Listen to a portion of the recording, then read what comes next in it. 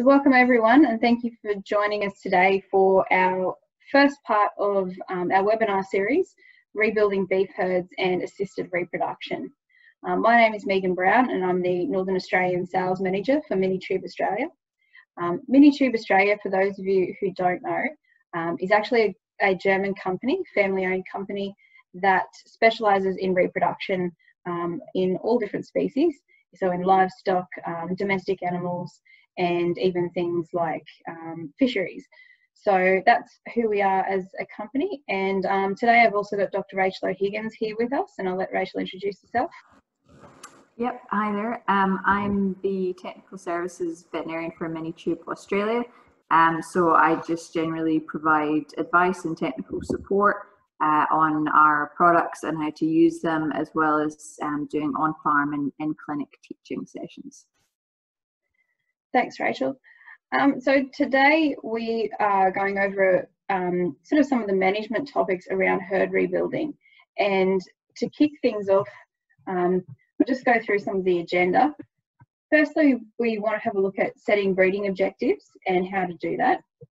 Um, choosing what sort of breeding system may suit your objectives. Then we'll have a look at the different types of assisted reproduction that are available that could fit in with that and then how to match those types of assisted reproduction with your particular breeding objectives. Um, next week we'll carry on and have a look at the preparation um, for the breeders before joining. Then we'll have a look at breeder and bull physiology, uh, setting expectations for your breeding uh, season, running assisted reproductive programs and measuring the success of those programs. There's a couple of things we'd like well, we hope you can take out of um, this session today. Firstly, how to get to know your herd a bit better and know what your goals are. Also, how to choose and set your um, breeding systems up so they fit your business objectives. And finally, to have a look at how assisted reproduction um, can be used as a rebuilding management tool to complement some of those breeding objectives um, that you've set for yourself. So firstly, when we think about breeding objectives, this is just getting to know what your plan is and what your goals might be for um, your particular business strategy and pinning down what you're trying to achieve. Uh, some of this information has been um, adapted from the Queensland Department of Agriculture's uh, business information from some of their breeding edge workshops. And pretty much breeding objectives in a nutshell just provide a framework for your business to help you make um, management decisions and actions that will lead to a more sustainable business structure um, now and moving into the future. When you're setting breeding objectives, there's a couple of things to think about. So firstly, they must be recorded. So you need to have them written down somewhere. Um, this gives it some sort of tangibility as well they need to be specific. So they can't be too broad that you can't measure them and that you can't look back at them and compare them to your results. They do need to be quite specific goals. They also need to be measurable. And this just means that they've got some parameters in place that you can um, say, yes, we've achieved those, or no, we haven't, and how are we going to get there in the future. They need to be attainable, and sometimes you won't know these goals are attainable until you attempt them, but um, preferably being attainable gives you more motivation to, to get them done and to be able to go back and set new ones and reevaluate as you go. And finally, they also need to be time sensitive. So this just gives them some urgency to maintain that, that motivation to keep on track with your breeding objectives. One big thing to consider is that you can't manage what you don't measure. So that's why it's really important to get some of this information written down so you can actually have a look at your business structure as it is and then come back at a later date and compare it to where um, you thought you wanted to go and see if you've achieved that. So some things to consider when um, when rebuilding because there are a lot of places around Australia at the moment that are rebuilding for um, for one reason or another and for that reason, we've wanted to um, to run this webinar for a little while because currently there's going to be a lot of investment happening into genetic material. And that is a great opportunity to do that when you're rebuilding. However, that also means there's a lot of capital tied up in that. So we want to make sure that um, people have some kind of framework to, to follow when implementing breeding decisions and utilising those genetics. So you get the best out of um, your investment that you've made. So some things to consider are evaluating your current position. So what does my herd currently look like? How to identify and keep the good cows? And do I have enough good cows for my business right now? Also think about how you're going to do this. So do I breed from within my current herd? Do I buy cattle in? Do I use this as an opportunity to change breeds or diversify my markets? Um, and can I select, or how do I select stock and genetics that are going to be um, beneficial for my herd going forward? When setting up your breeding objectives, these form the building blocks of your business. So um, there's a couple of things to consider when doing this.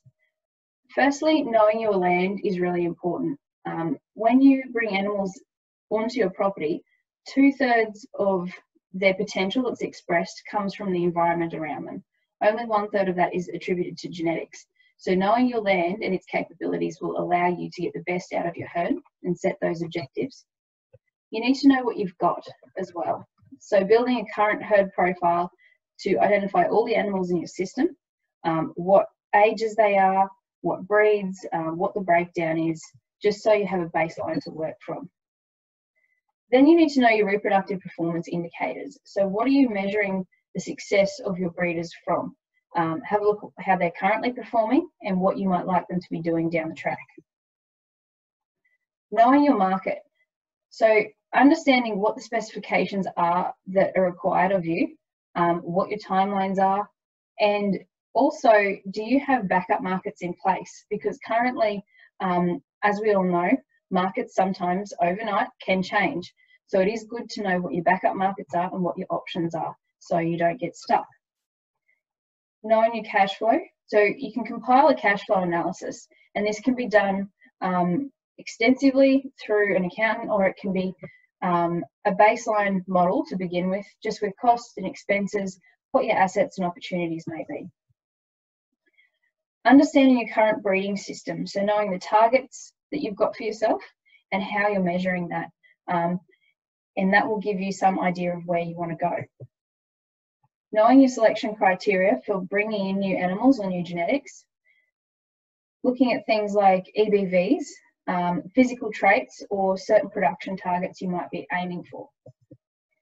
And once you've got all of these things um, taken into consideration, you can then build that picture of what your current herd is, where your business is, and where it needs to go just before moving on, I did want to make a note on estimated breeding values. Um, these are an absolutely fantastic tool that you can use when you're uh, buying in new genetics. So a lot of breeds have these available now, and they do form a puzzle though um, that is made up of physical inspection, the EBVs that um, of that particular animal, and also what your goals are. So they're not the main thing you need to consider, but they are high on that list. Um, as I said, many breeds have them available and the accuracy is improving for a lot of the traits as well and new traits are being added too. So there's a link there to the BREEDPLAN website um, if you want to have a look at your particular breed and that website's just been updated to make it a little bit easier to follow. Um, when we have a look at choosing a breeding system, so when we are um, herd rebuilding, because this is only a short webinar, I've kind of condensed these uh, objectives down into five broad areas um, to consider when, when rebuilding. So the first one is using it as an opportunity to improve your genetics. Um, it may be something you're considering is breeding for sex selection. So do you want to breed more heifers as replacement heifers? Do you want to breed more bulls? Um, maybe you're breeding on a contract for bulls. Do you just want to increase the amount of kilos of beef that you're turning off from where you're at currently? Um, are you wanting to put more calves on the ground quickly and just build your numbers up really quickly? And lastly, do you want to change your calving pattern? So maybe you're moving from year round into a seasonal calving pattern, or maybe you want to take this as an opportunity to shift that um, the seasonal calving you already have uh, to a different time of the year. So when we look at these objectives um, and how they can be achieved, and particularly in a in a fairly rapid fashion because um, we're building from a smaller base at the moment, there's a couple of ways you can utilise um, assisted reproduction technologies in that. Um, I just wanted to go through a couple of different systems that are available and um, give an outline of what they are. So firstly, there's um, IVF or in vitro fertilisation. This is when the eggs are collected from donor cows, they're matured and fertilised within a lab, and then the embryos are transferred into synchronised recipients or they can be frozen. The second one is MOET, or you may know it as flushing or embryo transfer. This is when donors are superovulated to produce numerous oocytes or eggs. The donor is then artificially inseminated. Um, the fertilisation and maturation occur within the cow. She's then flushed to retrieve those embryos, and they can either be transferred into recipient cattle again or they can be frozen. Um, fixed time artificial insemination is another option. So these are, this is when cows are synchronized to come on heat within a small time frame. And all of the animals um, are blanket um, AI within that window, then bulls are usually added as a mop up. Um, and the final one is bull sync. So this is when cows are partially synchronized to increase um, or to initiate a tighter ovulation pattern. There's no AI involved and the heats are expressed over um, a week or so. Bulls are then added at a bit higher percentage than what you normally would. Um, all of these systems have their advantages and disadvantages depending on what you want to use them for. But today we're going to focus mainly on fixed time AI and bull sync because these are the main two that can assist with herd rebuilding strategies quite rapidly. Um, how, do, how do you know which goal fits in with which reproductive system? So if your goal for rebuilding is just wanting to improve your genetic gain, um, all of the systems we just spoke about can do that and they offer that in different ways. Um, however, rebuilding when rebuilding, it's important to think about the fact that your base herd is often now limited and the choices of genetics that you have um, can be quite quite low as well. So if you're going to be investing in something like this, um, it is important to think about investing as much as you can in good genetics because that will stay with you and stay with the herd for a long period of time. That one bull gets joined to multiple cattle and that can um, have a lasting impact for a long time. If you're wanting to breed for sex selection, so all um, the IVF, flushing and fixed time AI can utilise sex semen to do this for you. However, something to think about is that it's more common in dairy herds. So dairy sex semen is a lot more readily available. Um, there's a bigger selection of sire choices and it's often also more economical than beef sex semen. Um, there is still beef sex semen available and it is a growing market, so it is something that you can you can use if you want to. Um, and if you're taking this as an opportunity to just breed for more kilos of beef, um, all the systems do offer gains in beef production for different reasons. However, this is where fixed time AI and bull sync really have their benefits. Firstly, all animals are bred at the beginning of the season. So you can also utilize genetics of higher value because you're using straws instead of buying one bull. Um, the sync programs can kickstart cycling in certain classes of animals that may um, have a later cyclicity um, start than than they would uh, normally if they're in low body condition, um, if they're cows that have got a calf at foot, or if they're not cycling uh, for numerous reasons. So um, your synchronization programs can help with that. A tighter calving pattern is also achieved from these systems. So you have more uniform weaning weights and really even lines of calves. They also have a higher average weaning weight because you're really front loading that breeding season. And by doing that, you're reducing calving drift as well. So those cows are more profitable and they stay in the herd for longer periods because they've got more time to recover between calves. So this keeps um, keeps them in the herd for longer. Um, I might hand over to Rachel now to cover this part. Okay, so how do we produce more beef? There's a study that was done um, to look at that a system uh, versus the pregnancy rate over 90 days of joining. So it was uh, designed to compare the reproductive performance of the natural service, um, artificial insemination using estrus detection, and fixed time artificial insemination.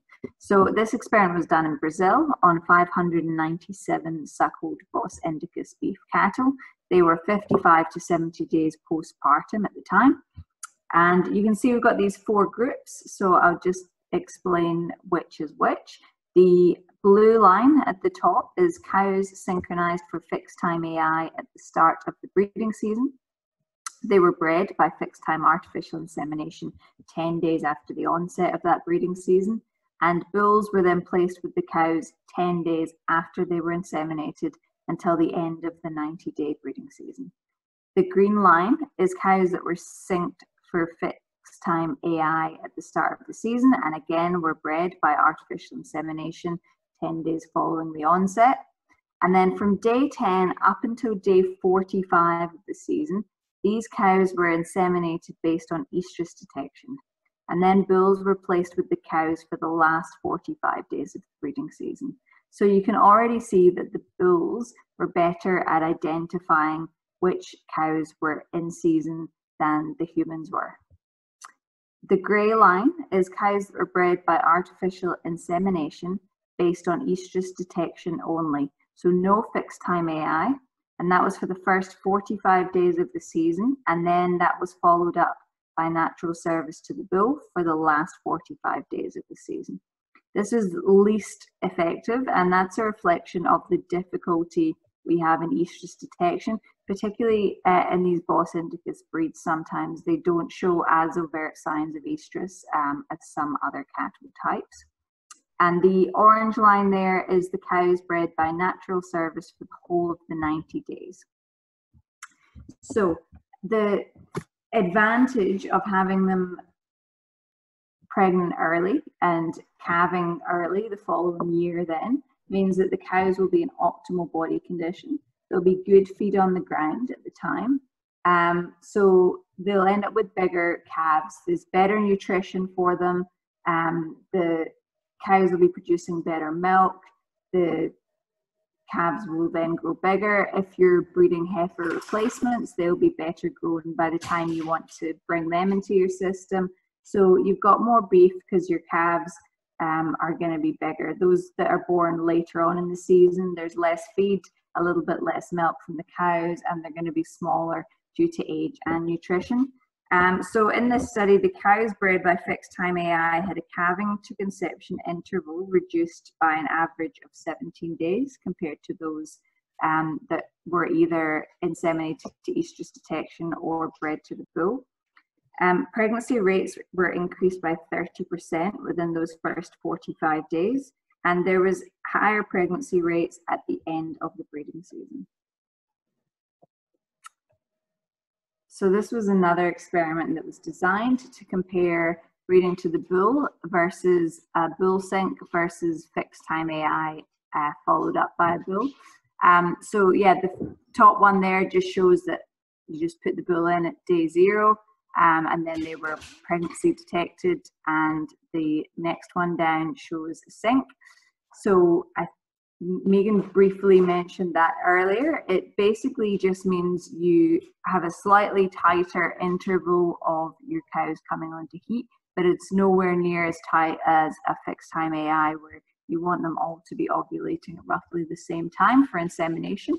Um, so it sort of tightens up the interval, but it's maybe within a week or so. Um, so you do need a slightly higher um, number of bulls but um, other than that, it's great because it brings into heat those cattle that may not already be cycling um, and sort of tightens up your window a lot more.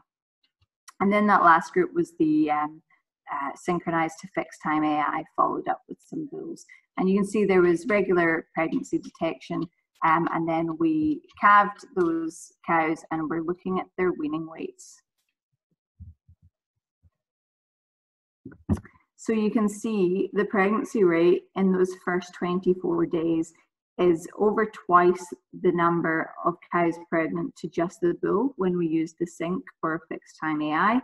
And by the end of the season, the pregnancy rate is also higher um, when we've done a sync.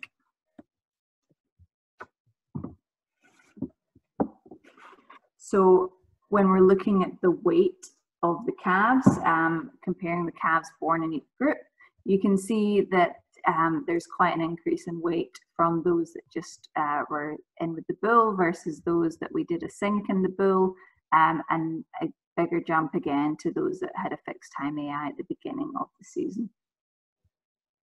And if we drill down a bit further into those figures and we look at the kilograms of calf achieved per cow, so now we're looking at all of those cows, including those that didn't get pregnant. Um, we have obviously a much bigger jump now between the ones that were just in with the bull versus the fixed time AI followed up by the bull. So an extra 69 kilograms of calf achieved per cow between those two groups, which um, starts to look pretty significant. And you can see that the trend is echoed across breeds. So when we compare the Bos Indicus to the Bos Taurus, it's the same story in terms of um, getting a much uh, heavier calf um, when we've done a fixed time AI. Um, about 8 to 10% of that is going to be due to genetic gain. So we can, you know, use frozen semen of higher genetic merit. And um, about 11 to 14% of that gain is going to be due to the fact that they're calving earlier, so they're older. So if your goal is more calves on the ground, um, you have the available feed, you want to produce more weaners or breed more replacement heifers. Um, all systems have benefits um, for multiplying your genetics fast, but fixed time AI with a resync is most common. Um, and that would be where we do a normal synchronization, um, inseminate those animals, and then it's exactly how it sounds. You replace that progesterone device, and um, then you scan and pull out those that are pregnant and do another insemination to fix time with those that are empty. Um, the decision will come down to breeding objectives for the herd and your available capital. So how do we get more calves from an assisted reproduction program? Um, we need to remember the most profitable pregnancy is the earliest pregnancy. Um, so ideally, we want to aim for one calf per cow per year. Uh, so we actually don't have a lot of time to achieve that. Um, we have a really short interval in which the cow has to fall pregnant again so we can achieve one calf per cow per year.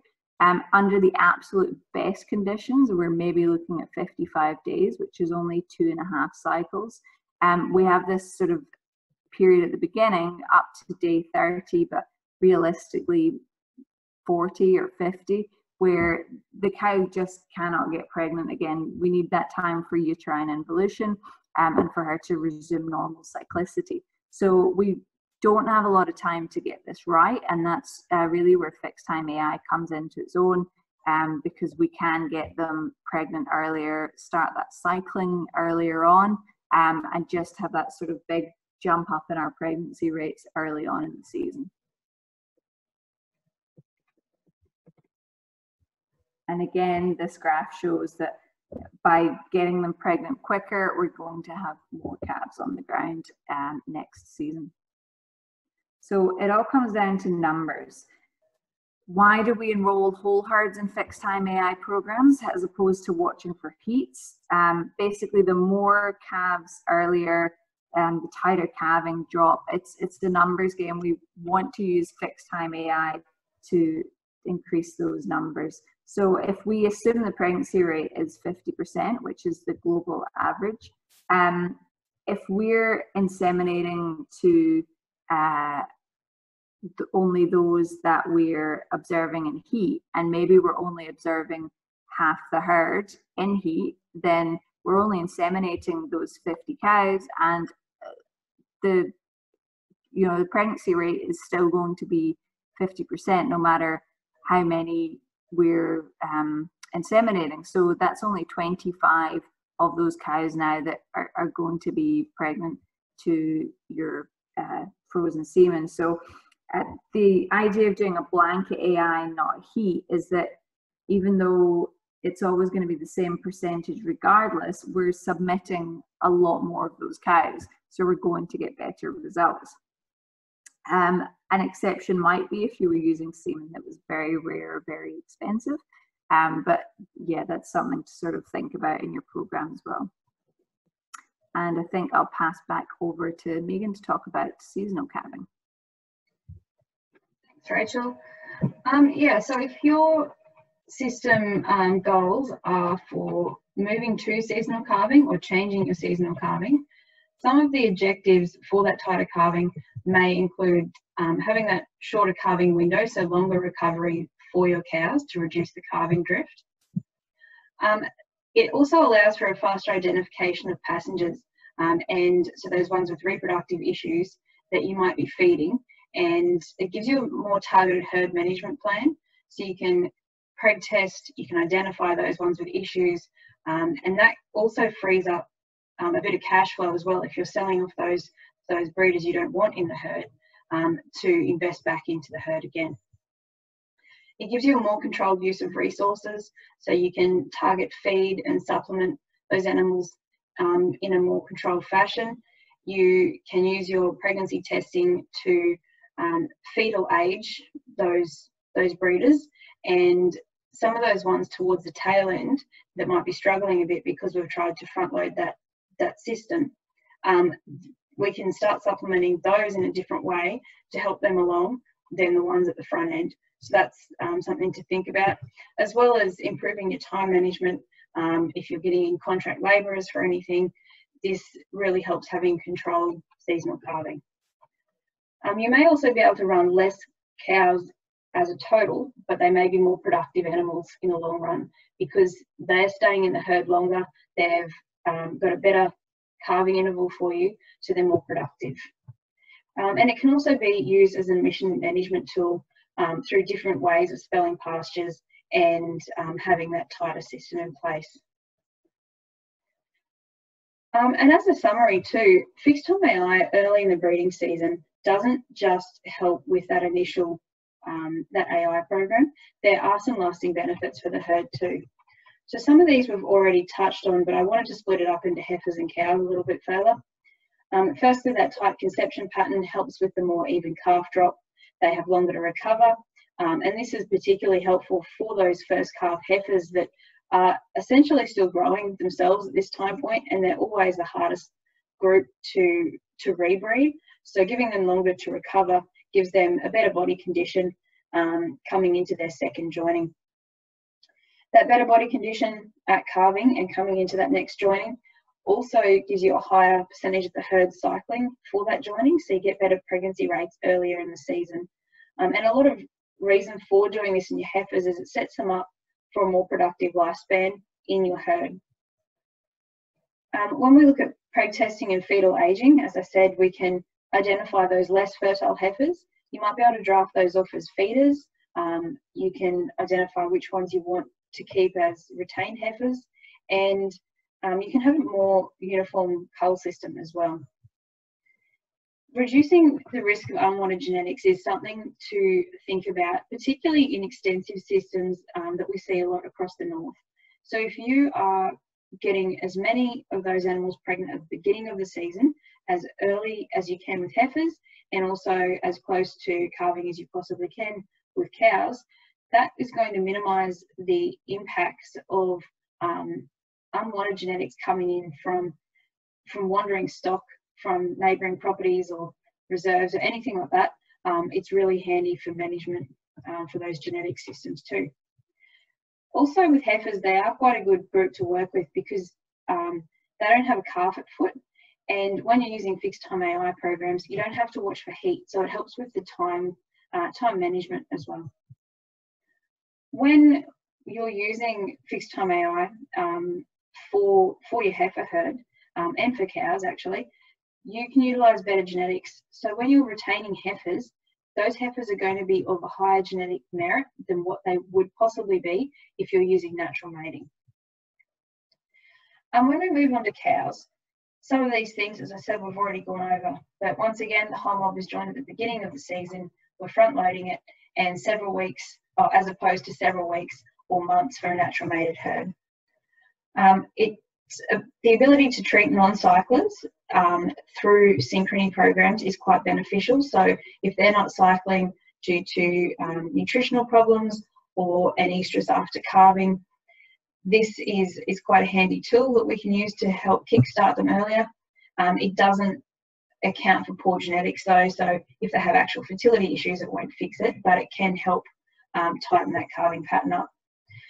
The other thing to think about too is once they've been kickstarted and put through an AI program, some of these animals, um, if they miss the AI or if we're kickstarting those non-cyclers and they miss the AI, their follow-up heats are quite fertile. So when you put the mop-up bulls in, you still get a fairly tight um, joining pattern with good success rates. And it also helps reduce that calving drift, bringing that system back down into that one calf per cow per year. And those fertile cows are going to stay in your herd longer so you can retain the genetics that you want for longer.